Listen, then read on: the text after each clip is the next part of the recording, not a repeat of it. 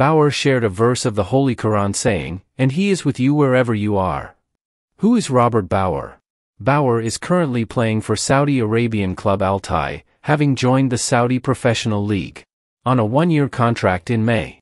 The 28-year-old German footballer made his Bundesliga 2 debut on October 31, 2014 against Fortuna Düsseldorf.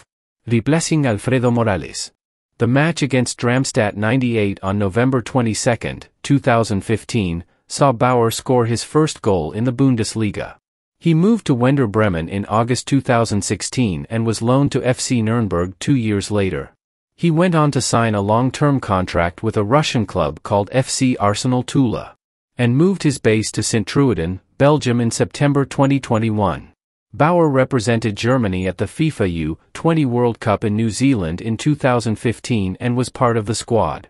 For the 2016 Summer Olympics, which saw Germany win the silver medal. German footballer defender Robert Bauer announced his conversion to Islam and expressed gratitude to those who helped him in his journey as a Muslim. Taking to his Instagram recently, Bauer posted a picture of him praying and revealed that he came to Islam through his wife and her family. For all the people messaging me today, I came to Islam through my wife and her family. It's been many years and I'm thankful for you all to help me and encourage me on my journey.